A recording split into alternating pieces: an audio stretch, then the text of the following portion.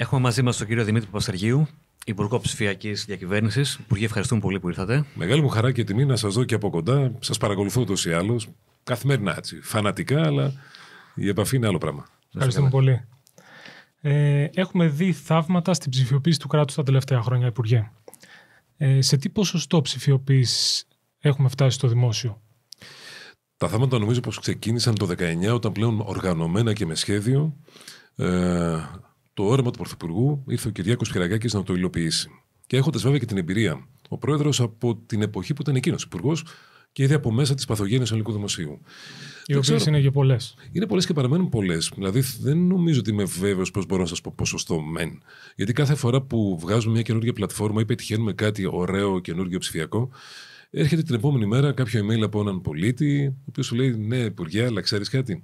Πήγα προχθές σε εκείνη την υπηρεσία και μου ζήτησαν φωτοτυπία της ταυτότητας. Πήγα εκεί και μ, δεν εξυπηρετήθηκα.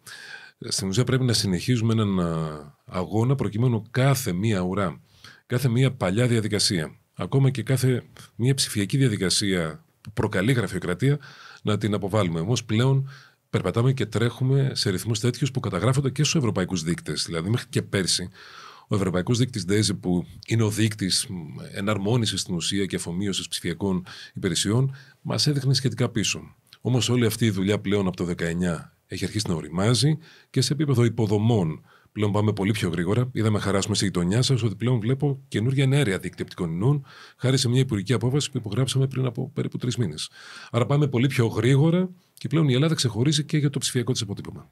Τρέχουν πολλά πράγματα και από το Ταμείο Ανάκαμψης. Ε, ποια, ποια είναι τα σημαντικά που μένουν να γίνουν τα επόμενα χρόνια, Δηλαδή, τι, τι προτεραιοποίηση θα βάζατε; Το Υπουργείο μας τρέχει έργα πάνω από 2 δισεκατομμύρια για το Ταμείο Ανάκαμψης και είναι δύο πολύ βασικοί πυλώνες αυτοί στου οποίους επενδύουμε και πρέπει να είμαστε συνεπείς στο τι θα παραδώσουμε. Υγεία.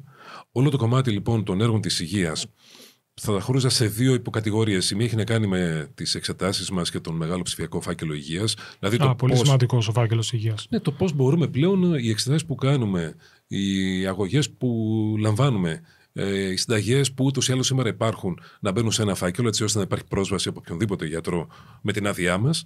Και το δεύτερο κομμάτι έχει να κάνει με την ομογενοποίηση των συστημάτων των νοσοκομείων. Όσο και αν σας φαίνεται περίεργο ή τρελό, τα νοσοκομεία της χώρας, πλην της Κρήτης, δεν μιλούσαν την ίδια ψηφιακή γλώσσα. Κάθε νοσοκομείο έχει το δικό του σύστημα, με αποτέλεσμα, αν το Υπουργείο Υγείας ήθελε να έχει στατιστικά, να ακολουθήσει κοινές πολιτικές, να έχει ένα BI για να βλέπει όλα αυτά τα δεδομένα κάπως συγκεντρωτικά, δεν μπορούσε να το κάνει. Λοιπόν, αυτά τα δύο μεγάλα έργα της υγείας είναι ο πρώτος πολύ βασικός πυλώνας.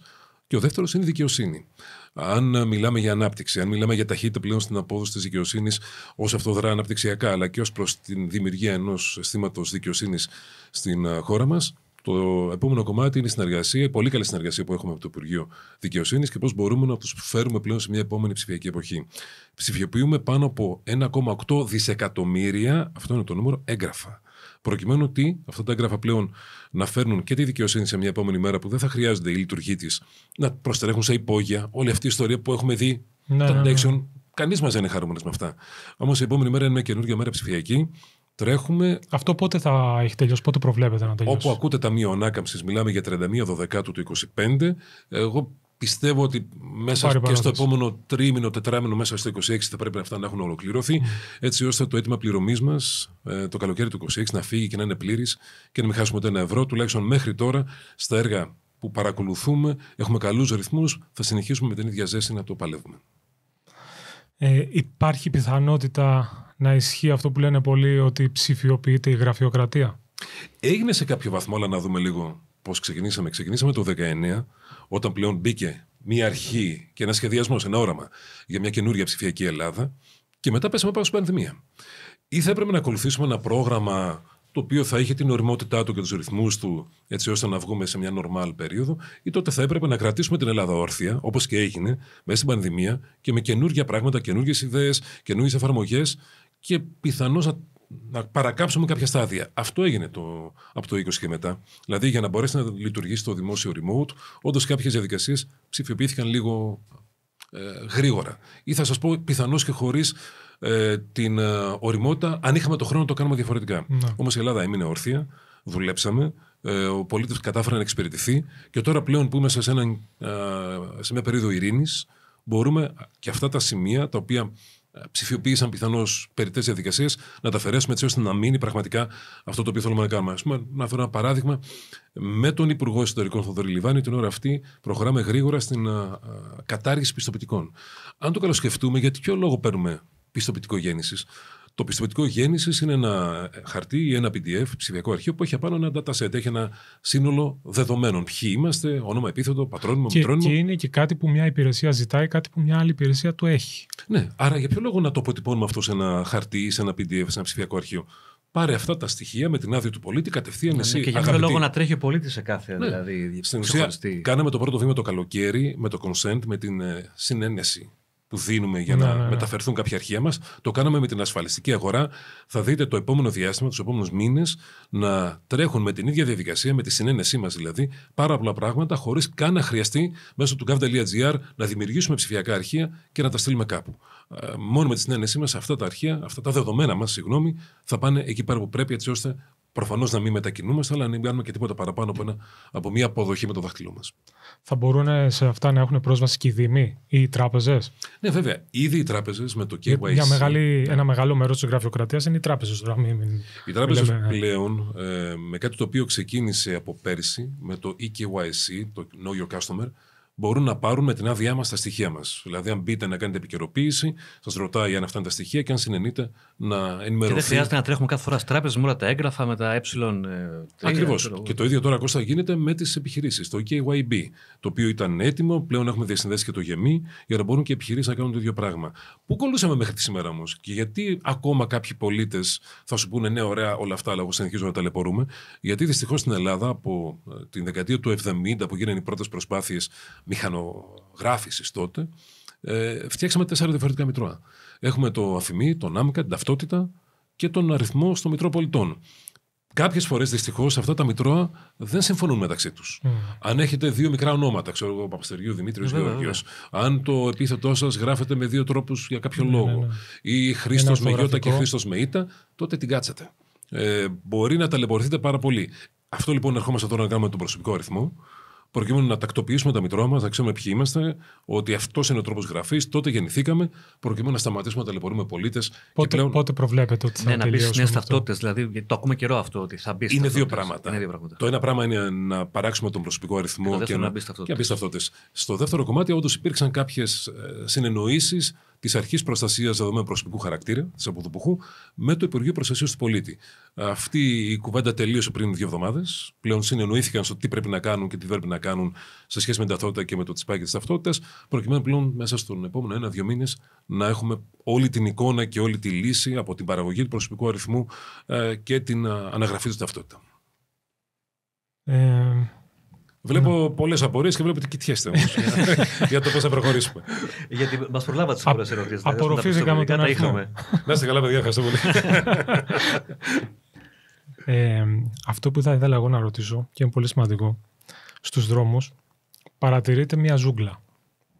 Ειδικά στην Αθήνα ε, νομίζω ότι η προτεραιότητα πλέον έχει ο πιο θρασής. Έχουμε ακούσει τον Πρωθυπουργό να μιλήσει για χίλιες νέες κάμερες που θα τοποθετηθούν στο δικό δίκτυο. Ε, ένα από τα συναρμόδια υπουργεία που καλείται να το φέρεις εις πέραση είστε κι εσείς. Τι προβλέπετε να γίνει εκεί; θα συμφωνήσω ότι αυτή η εικόνα, ειδικά τις καθημερινές του δρόμου τη Αθήνα, γιατί κυρίως εκεί είναι το πρόβλημα. Στη Θεσσαλονίκη, ξέρετε, με την προσπάθεια της τροχέας στις κεντρικές αρτηρίες, στην Τσιμισκή, στην Εγνατία, πλέον δεν υπάρχει τέτοια ζούγκλα. Ε, στην Αθήνα, παρά τις προσπάθειες, επειδή περπατάω κάθε πρωί και πηγαίνω στο Υπουργείο με τα πόδια, Στην Αθήνα είναι τραγική η κατάσταση. Ε, Και παρά την παρουσία της τροχέα, τουλάχιστον στο κέντρο, στα σημεία που πρέπει, ακόμα η κατάσταση είναι δύσκολη. Λοιπόν, πρέπει πρώτον εμείς να αποφασίσουμε ότι πρέπει να συμβιώσουμε με τους ανθρώπους μας και δεύτερον, με τεχνικά μέσα να βάλουμε μια τάξη. Ο πρόεδρος το είπε και είναι αποφασισμένος και η εντολή που μας έχει δώσει σε όλη την ομάδα που ασχολείται με το έργο, γιατί είμαστε τρία υπουργεία όντως, το προστασία του πολίτη, των μεταφορών και εμείς, είναι να το τρέξουμε, να το τρέξουμε γρήγορα και να γίνει ένα σύστημα το οποίο θα μείνει.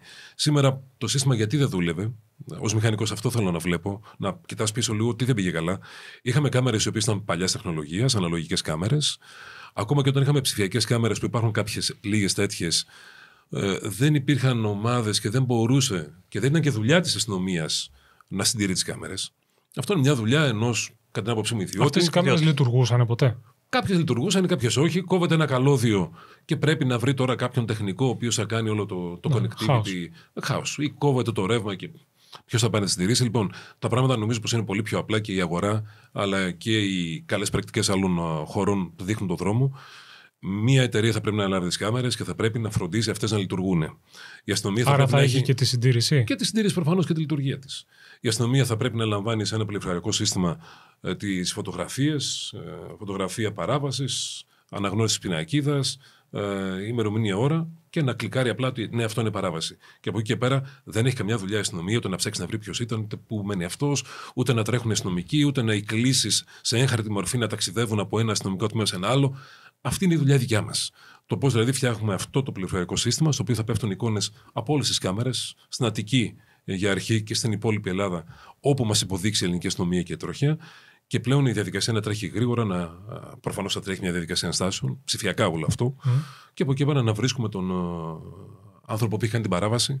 ε, Ε, για να... Αυτές οι χίλιες κάμερες θα είναι στην Αθήνα ή θα είναι σε όλη την Ελλάδα; Ήδη τρέχει στην Αττική ένα πρόγραμμα από την Περιφέρεια Αττικής για 388 κάμερες. Αυτός ο διαγωνισμός τελειώνει, έχει περάσει από το ελεγκτικό συνέδριο και πλέον είναι σε φάση υπογραφής. Άρα ξεκινάμε με μια πολύ βασική δομή που είναι αυτή η πρίκα της Περιφέρειας Αττικής, συν 17 κάμερες εδώ στην περιοχή στην Αττική Οι Οδό. προδιαγραφές αυτού, αυτών των καμερών θα είναι ίδιες με αυτές που προβλέπετε τι επιπλέον να έρθουν αργότερα; Ο σκοπός είναι αυτό το οποίο σου δίνει τελικά να είναι μια φωτογραφία, άρα μπορούμε να το Θα προσαρμόσουμε. λειτουργεί, θέλω να πω, εναρμονισμένα αυτό Θα το πρέπει να σύστημα; λειτουργούν. Αυτή είναι ακριβώς η μελέτη που κάνουμε. Οι κάμερες που υπάρχουν. Έχει 12 κάμερες ο ΑΣΑ στις λεωφορειολορίδε. Έχει 17 κάμερες κατά μήκος της Αττικής Οδού. Όλα αυτά να πέφτουν σε ένα σύστημα και να υπάρχει ενιαία Αυτό, αυτό διαχείριση είναι σημαντικό. όλων αυτών των Μάλιστα. κλήσεων. Πού κολούσαμε μέχρι σήμερα; Σήμερα το πρωί μιλούσα σε ένα ραδιόφωνο και μου ήρθε μήνυμα από φίλο που μου λέει: Έλαβα σήμερα, λέει, κλήσεις της Αττικής Οδού πριν από 12 χρόνια. Για ποιο λόγο έγινε αυτό, Διότι η τροχία μέχρι σήμερα που προσπαθούσε, εγώ αντιλαμβάνομαι πως με τα μέσα που έχει και η τροχία και η αστυνομία πάνε να κάνουν τη δουλειά τους. Στέλνουν κάποια στιγμή την κλήση στον Δήμο, στον οποίο ανήκει το κομμάτι του δρόμου, στον οποίο έγινε η παράβαση. Είτε είναι εδώ κάποιος Δήμος της Αττικής, είτε είναι στο υπόλοιπο εθνικό δίκτυο, σε κάποιον επαρχιακό Δήμο. Οι Δήμοι έχουν περιθώριο εκ του νόμου έως πέντε χρόνια ταμιακά να βεβαιώσουν αυτή την κλίση. Και άλλα πέντε χρόνια να κινηθούν για να την εισπράξουν. Θα αλλάξει αυτό; Αυτό θα αλλάξει με το να πλέον να μαζέψουμε όλα Γιατί αυτά. τώρα κάποιος 12 χρόνια πριν ούτε ένσταση δεν μπορεί να κάνει, δεν μπορεί να έχει Και δεν κάνει. ξέρω πότε παραγράφονται κιόλας. Νομίζω Δεν ότι τα αυτό είναι θυμάται και μετά καν αν παραγράφονται ήταν, κιόλας. ε, Οι πενταετίες που σας είπαν το όριο παραγραφής. Αλλά ε, σημασία έχει ότι και ο πολίτης δεν γνωρίζει και πιθανώς να τρέχουν και τόκοι για αυτό το διάστημα και κυρίως δεν εκπληρώνει στο σκοπό της βέβαια. εκπαίδευσης των πολιτών. Τι πάμε να κάνουμε, ένας φορέας κάνει όλη αυτή τη δουλειά. Δηλαδή, από την ώρα που η αστυνομία κλ- κλίκαρε, πέρασε η όποια ε, περίοδος των ενστάσεων, ξέρω, μια εβδομάδα πόσο μπορεί ο καθένας να κάνει την ενστασή του, πλέον αυτό βεβαιώνονται και ε, τρέχουν οι προθεσμίες για να πληρωθούν οι κλήσεις. Την ίδια ώρα όμως, στο κινητό, γι' αυτό και παίζει μεγάλο ρόλο το Εθνικό Μητρό Επικοινωνίας, περάσαμε και μια διάταξη προχθές, θα σου έρχεται ένα μήνυμα που σου λέει ότι ελέγχεσαι για παράβαση στο σημείο εκείνο. Την ίδια ώρα. Άρα ε, δεν είναι μόνο πλέον το να ε, ενημερωθεί ο πολίτης, να βρει μια κλίση και να την πληρώσει. Κυρίως είναι το να καταλάβει πως πλέον υπάρχουν δομές στο κράτος οι οποίες δουλεύουν. Δεν έχουμε σκοπό να βάλουμε κάμερες για να τρελάνουμε τους ανθρώπους σε κλήσεις. Και μάλιστα, ειδικά στον κόκκινο Ναι, δεν θα σηματοδότη. πρέπει να είναι εισπρακτικός ο λόγος. Ακριβώς δεν είναι πρακτικό. Είναι εκπαιδευτικός στους σηματοδότες, γιατί πάρα πολλά θανατηφόρα τροχιά γίνονται σε σηματοδότες. Θα υπάρχει Τα πινακίδα που οποία θα έχουν λέει αυξηθεί και πάρα πολύ το τελευταίο καιρό. τα- Ναι. τα- κράνη, τα τροχιά. ε, κινητό, ποτό, ερυθρός σηματοδότης. Στο εξωτερικό νομίζω υπάρχουν κάμερες με AI οι οποίες εντοπίζουν αν κάποιος διαβάζει από το κινητό Σωστά. μήνυμα την ώρα που οδηγεί. Και κάτι ακόμα το οποίο πρέπει και μπορούμε να δούμε στο εξωτερικό, πιθανώς έχετε δει ότι πλέον δεν γράφει μόνο το αυτοκίνητο, αλλά μπορεί να γράψει και τον οδηγό. Γιατί στην Ελλάδα έχουμε ανακαλύψει και το φοβερό ότι όταν μας γράφουν, για να μην δώσουμε το δίπλωμά μας, ανακαλύπτουμε πως η μητέρα μας που είναι 90 χρονών έτρεχε με 180 Έτρεχε, ναι. στην Αττική Οδό, ας πούμε. Οπότε Η- πάμε το δικό της Η δίπλωμα. πολιτική βούληση θα υπάρχει αν υπάρξουν αντιδράσεις το μέτρο αυτό να τηρηθεί όντως. Γιατί θα υπάρξουν αντιδράσει για τις κάμερες. Είναι δεδομένο. Δηλαδή θα, θα πεταχτούν πολλοί να πούνε για δικαιώματα, προσωπικά δεδομένα. Δεν θέλω εγώ να με Ξέρετε, γράφουν. ξέρετε, κάποτε εδώ πέρα η αριστερά έριχνε κάμερες. Κατεδάφιζε κάμερες από δημόσιους χώρους. Δεν θεωρώ ότι είναι απίθανο να Οπότε- ξαναγίνει αυτό. Ναι, ξέρετε, Υπάρχει όπως είδα όλο αυτό το κίνδυνος. διάστημα. Άνοιξε μια μεγάλη κουβέντα με την αναφορά του Πρωθυπουργού στην ε, ΔΕΘ. Εγώ δεν είδα να ανοίξει μύτη.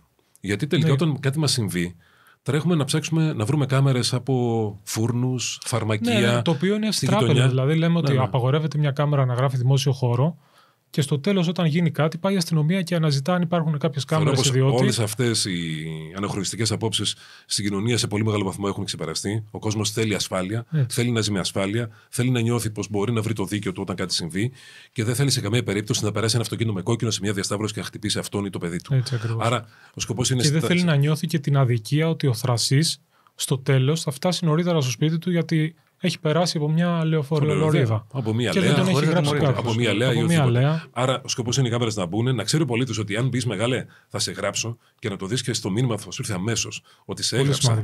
Γιατί ο σκοπός δεν είναι απλά να περάσει ένα αυτοκίνητο το κόκκινο και να χτυπήσει κάποιο παιδί ή κάποιον άλλο συντοπίτη. Ο σκοπός είναι να μην περάσει. Δεν είναι σκοπός να το γράψεις. Ο σκοπός είναι να τον πει ότι δεν πρέπει να περάσει. Αυτό. Λοιπόν, πάμε στο wallet, mm-hmm. στο οποίο, το οποίο έχουμε να, πω, όλοι... να πω κάτι ναι, ναι, εδώ ναι, ναι. που μου ήρθε. Θα μπορούσε ε, ένα πολύ μεγάλο πρόβλημα στο οδικό σύστημα, στη, ειδικά στο λεκανοπέδιο, είναι η κίνηση.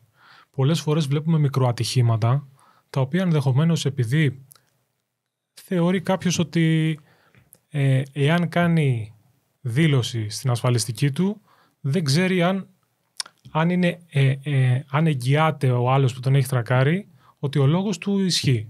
Οπότε περαμένουν στο οδόστρωμα μία ώρα, δύο ώρες μέχρι να πάει να καταγράψει το γεγονός τροχιά. Δεν θα μπορούσε αυτό να γίνεται ψηφιακά εκείνη τη στιγμή.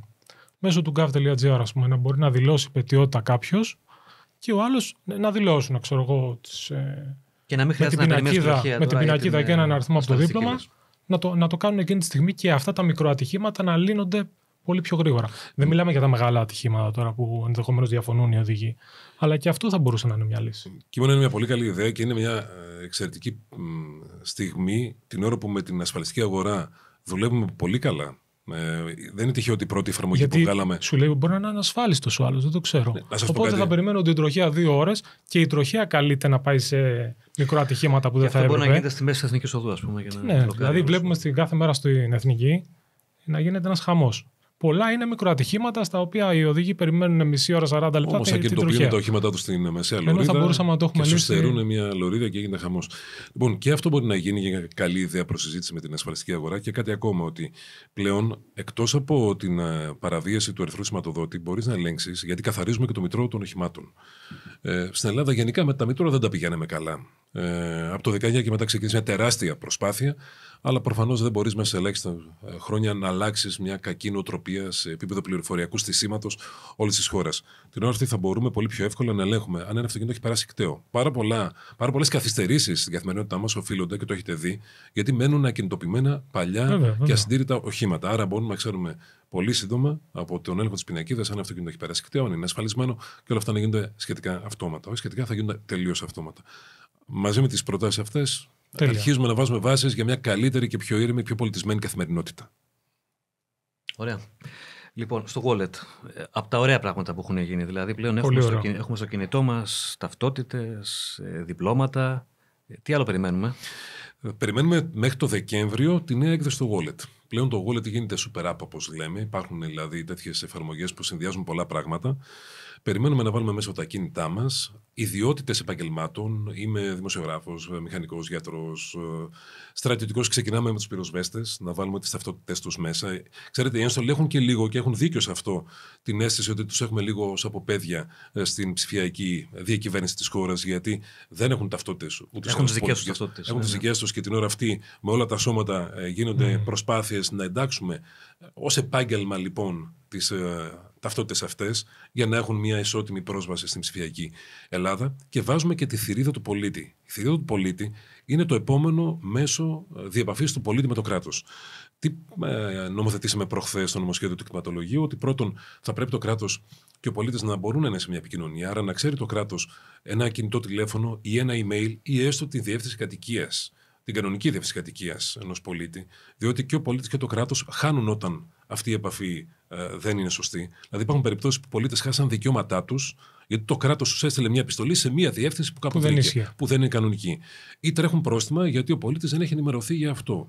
Άρα με, την, ε, με το ΕΜΠ, με το Εθνικό Μητρό Επικοινωνίας και με τη Θηρίδα θα μπορούμε όλα αυτά ε, μέσα από το wallet, από μία και μόνο εφαρμογή πλέον να τα βλέπουμε, να τα ελέγχουμε. Που είναι πάρα πολύ σημαντικό. Το wallet λοιπόν γίνεται ο βασικός μας τρόπος επικοινωνίας. Θα δείτε σε μερικές μέρες, σε μερικούς εβδομάδες, να είμαι ακριβή, και μέσω της εφαρμογής του MyGov, του βοηθού τεχνητής νοημοσύνης, του gov.gr, υπεύθυνες δηλώσεις να σε εκφωνούμε και να βγαίνουν και να φεύγουν κατευθείαν. Πολύ απλά πλέον συστήματα. Άρα να περιμένουμε μια πολύ πιο εύκολη ψηφιακή καθημερινότητα για τους πολίτες μας. Μιας και αναφερθήκατε στο κτηματολόγιο, πότε θα τελειώσει; Κτηματολόγιο. Τεράστια δουλειά από τον Κώστα Γυρανάκη, τον Υφυπουργό και την ομάδα του κτηματολογίου. Κτηματολόγιος στην Αθήνα, Ελλάδα, δεν ξεκινήσαμε πριν από πέντε χρόνια να φτιάχνουμε. Ξεκίνησε ο Καποδίστριας. Ε, οι επόμενες σοβαρές προσπάθειες έγιναν από το 1995 και μετά και φτάνουμε πλέον ε, στην τελική ευθεία. Είναι όντως ένα ντεμαράζ, όπως λέμε σε όρους ε, στίβου, δηλαδή το τελευταίο εκατοστάρι μέχρι 31 του 25 να αποκτήσουμε κτηματολόγιο χωρίς προβλήματα. Γιατί και στη Βουλή ακούσαμε πολλά. Προφανώς προβλήματα υπάρχουν και σήμερα και θα υπάρχουν. Γιατί η Ελλάδα. Κάποιες μια... περιοχέ περιοχές είναι ιδιαίτερες. Περιοχές και περιπτώσεις. Πόσο έχουμε τρέξει τόσο γρήγορα; Δηλαδή, μέχρι πριν από 2-3 χρόνια ξέραμε ότι δασικές περιοχές ε, αργούσαν πάρα πολύ να μπουν. Αργούσαν γιατί δεν είχαμε δασικούς χάρτες. Δεν είχαμε γραμμές Αιγιαλού. Άρα, πώς να κάνεις χρηματολόγιο όταν βασικά στοιχεία της ελληνικής λοιπόν. επικράτειας δεν είναι χαρτογραφημένα ή οριοθετημένα. Πλέον αυτά τελειώσανε. Γίνεται όντως ε, μια τιτάνια προσπάθεια και με καινούργια εργαλεία. Οι διατάξεις που φέραμε λύνουν προβλήματα τα οποία πολίτες τα βλέπαν κάθε μέρα και ήταν από τις περιπτώσεις που λέγανε ρε παιδιά, βοηθήστε, δεν αντέχω άλλο, ας πούμε, γιατί το διαμέρισμά μου δεν είναι 100 τετραγωνικά που φαίνεται στο συμβόλαιο, είναι 101 και για να κάνω τη διόρθωση αυτή πρέπει να συμφωνήσει όλη η πολυκατοικία. Mm. Εδώ δεν συμφωνούμε στα κοινόχρηστα, θα ναι, ναι. συμφωνήσουμε σε τέτοια πράγματα. Λοιπόν, τέτοια προβλήματα και πολλά άλλα Λύνουν. λύθηκαν και λύνονται καθημερινά στο κτηματολόγιο. Το εργαλείο τεχνητής νοημοσύνης, το οποίο περάσαμε, κάνει τη ζωή των νομικών ελέγχων, των νομικών για τους νομικούς ελέγχους πολύ πιο εύκολη. Άρα τρέχουμε πάρα πολύ γρήγορα προκειμένου ένα αυτό τεράστιο αυτό έργο μειώνει πάρα πολύ τους χρόνους. Σε μια μεταβίβαση, ειδικά ο νομικός έλεγχος. Ναι, ο νομικός έλεγχος στην ουσία. Πολύ... Τι έπρεπε σήμερα ο νομικός να κάνει; Σε ένα συμβόλαιο 50 σελίδων, δεν, τα συμβόλαια δεν είναι ναι, ναι, ναι. μικρά, να βρει αυτά τα σημεία που έπρεπε να ελέγξει και να τσεκάρει ότι όντως. Και να πάει εκεί ο δικηγόρος, δηλαδή να, να βρει το έγχαρτο. Ναι, τώρα συμβόλαιο. πλέον αυτά γίνονται πάρα πολύ γρήγορα από τους ανθρώπους του κτηματολογίου και τους νομικούς που συνεργάζονται με το κτηματολόγιο τεχνητή νοημοσύνη φέρνει αυτά τα σημεία στην οθόνη του νομικού, τα τσεκάρει κιόλας από πριν ότι είναι OK. Mm. Ένα δεύτερο μάτι ε, αυτό του νομικού και η τελική υποβολή ότι είναι σωστός ο νομικός έλεγχος και προχωράμε πλέον στην καταχώρηση. Είχα δει κάπου ότι έχει περάσει το Ταμείο Ανάκαμψης και η ψηφιακή τράπεζα γης. Θα ενσωματωθεί αυτό το πράγμα κάποια στιγμή στο κτηματολόγιο, ώστε να μπορεί μια εταιρεία που θέλει να επενδύσει κάπου να πηγαίνει να βλέπει τις χρήσεις γης κατευθείαν στο κτηματολόγιο. Ναι, ψηφιακός χάρτης. Ψηφιακός χάρτης του ΤΕ, στον οποίο κουμπώνουμε χρήσεις γης, οικοδομικές άδειες, στα, στα ελέγχη των οικοδομικών αδειών, έτσι ώστε να ξέρουμε τι υπάρχει και τι δεν υπάρχει. Και μια δουλειά η οποία επίσης γίνεται το διάστημα αυτό είναι να γεφυρώσουμε Όπως ακριβώς με τους πολίτες, τα διάφορα νούμερα τα οποία υπάρχουν και ακολουθούν τους πολίτες, να γεφυρώσουμε τους αντίστοιχους αριθμούς για τα κίνητα. Έχουμε το ΚΑΕΚ, που είναι το βασικό νούμερο, τον ΑΤΑΚ, που έχει άλλα χαρακτηριστικά ο ΑΤΑΚ. Έχει μέσα και τις μισθωτικές σχέσεις.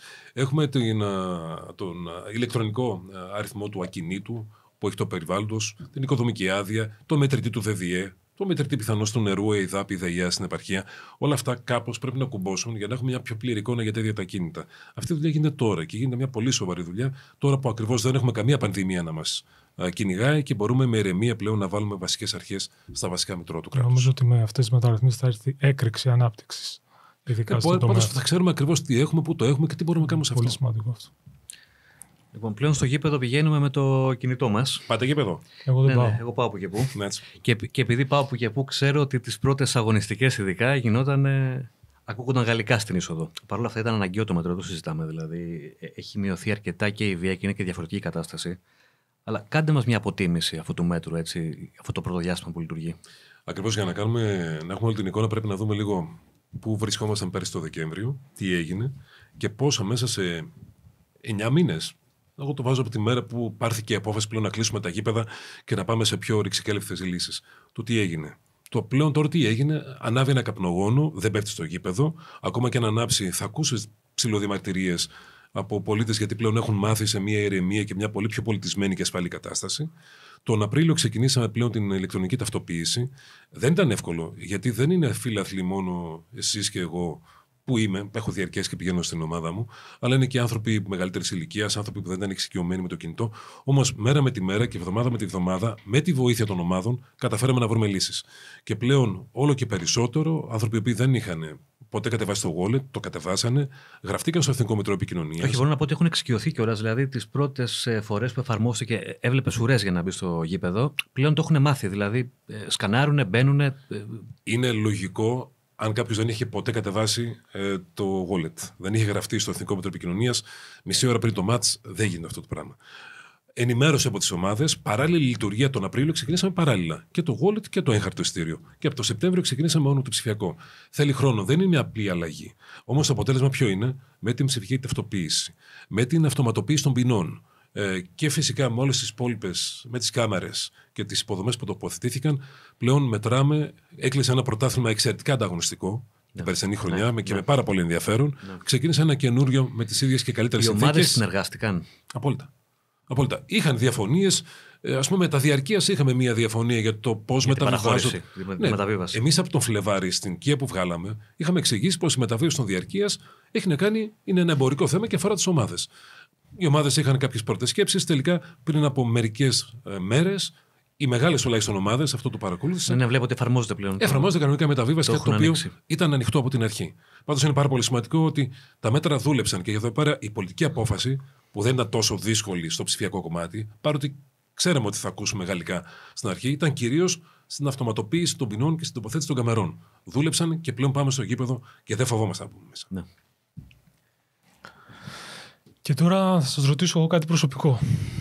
Ε, επειδή άνθρωποι σαν εσάς είναι πολύ χρήσιμοι και στη Νέα Δημοκρατία και στη χώρα, θα είσαστε υποψήφιος με τη Νέα Δημοκρατία; Δεν το αποφασίζω εγώ αυτό. Εάν σας το ζητήσει ο Πρωθυπουργός; Ε, θα ήταν ε, στο όριο της γαϊδουριάς. όταν ένας ε, Πρωθυπουργός και ένας τέτοιος Πρωθυπουργός. Ο οποίος πραγματικά θεωρώ πως. Ε, και θα πω μετά για την αντιπολίτευση, τίποτα δεν είναι τυχαίο. Ε, σου ζητήσει κάτι τέτοιο και όταν σε έχει τιμήσει να σε επιλέξει και από δήμαρχο και πρόεδρο της Κεντρικής Ένωσης, να σου πει να κατεβείς και να μπεις στην κεντρική πολιτική σκηνή, πολιτική σκηνή να πεις όχι. Ε, από την αρχή λες πως είμαι εδώ να βοηθήσω όσο και όπου μπορώ. Απλά ήθελα να πω το εξής: Γίνεται μια κουβέντα τώρα και το είπε και ο πρόεδρος την Παρασκευή στη Ριγίλης για την κατάσταση στην αντιπολίτευση. Α τα βρούνε. Πρέπει να τα βρούνε. Χρειαζόμαστε αντιπολίτευση. Δεν είναι ώρα να παίζεις μπάλα μόνος. Είναι βαρετό να παίζεις μπάλα μόνος σου. Όμως ένα μεγάλο κομμάτι της. Βέβαια δεν είναι, και, δεν είναι και δικιά σα ευθύνη. Τότε να κάνουμε. Δηλαδή, ε, άμα δεν μπορούν να αφρώσουν μια πρόταση. Προφανώς ισχύει αυτό, αλλά ισχύει κάτι άλλο. Ότι η εικόνα στην αντιπολίτευση είναι και απορρέει του γεγονότος ότι ο Μητσοτάκης είχε την, ε, την οραματικότητα, είχε την ε, διάβια, είχε με τον τρόπο να φέρει στους κόρπου της Νέας Δημοκρατίας ανθρώπους από άλλες πολιτικές παρατάξεις και ανθρώπους που αξίζανε. Και αυτό νομίζω στέρισε πάρα πολύ ζωτικό χώρο και από την αντιπολίτευση. Και είναι πολύ σημαντικό. Το κρατάμε. Ευχαριστούμε πολύ, Υπουργέ. Τόσο λίγο ήταν. Ευχαριστώ πάρα πολύ. Ήταν πολύ ενδιαφέρον κουβέντα. Εμείς ευχαριστούμε. Να είστε καλά. Να είστε καλά κι εσείς.